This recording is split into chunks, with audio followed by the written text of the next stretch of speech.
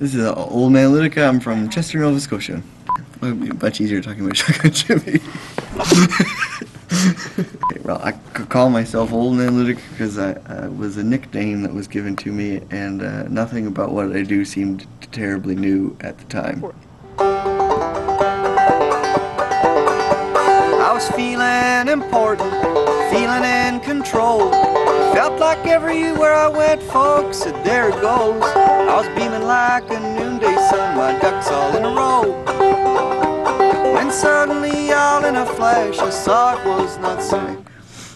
I it just sounded so different and foreign to my ear that I never when I when I wanted to write songs I I picked the banjo just because because uh, uh, just on a whim really but it was mostly just because of that thrilling feeling that the sound of the instrument gave me. That always leaps out on every recording I've ever heard of of any any type of music that features a sound even remotely like the banjo. It just seems to really pop out and I, I was like what is that? And uh, and and uh, I've just always found that very very thrilling.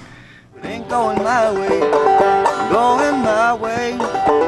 There's no denying ain't flying my way. It ain't going my way, going my way. There's no denying things ain't flying my way. East Coast shape what I do? Well, well, um, basically, I, I live in the country about an hour from Halifax, and uh, it's sort of the, the culmination of my sort of urban back to the country fantasy. And, you know, I've been there for long enough now that, that, that rural images and stuff are starting to find like a natural place in there in my songwriting as opposed to just a sort of urban romantic yearning for the country. Now I'm really full of it.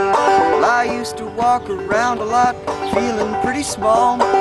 People said you're not so bad, and so I stood up tall. In other ways, I mean, the East Coast is just a, a really incredibly fertile place for music um, right now, and has been for you know for the last 20 years, or uh, probably forever, really.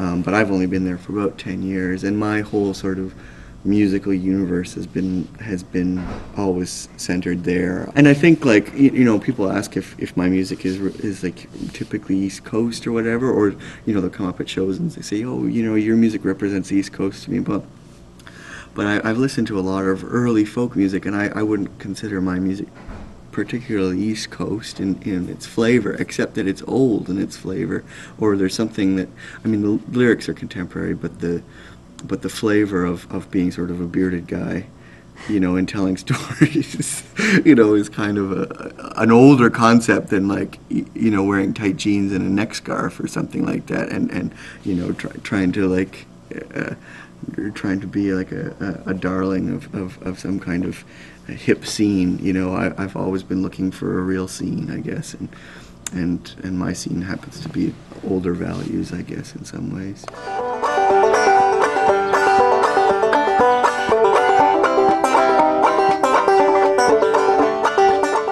Think I think what I've done is I've created a body of work that, that is about uh, is about the, the sort of balance between hope and fear. Like like the most of my songs are are sort of optimistic with a fairly dark undertone. I think in terms of their lyrical content and and and you know a lot of the music that I like the best. If you listen to like a lot of like Hank Williams, for instance, like I mean he's singing really sad songs, except that the effect is is is is buoyant. You know what I mean? Like, and I think that that's something that the banjo gives is a natural buoyancy that might be a, a subtlety that's lost on on some, but it's certainly not lost on on my on my fans. You know.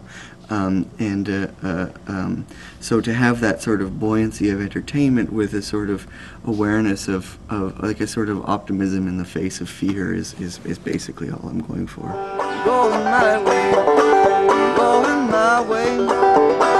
there's no denying things ain't flying my way.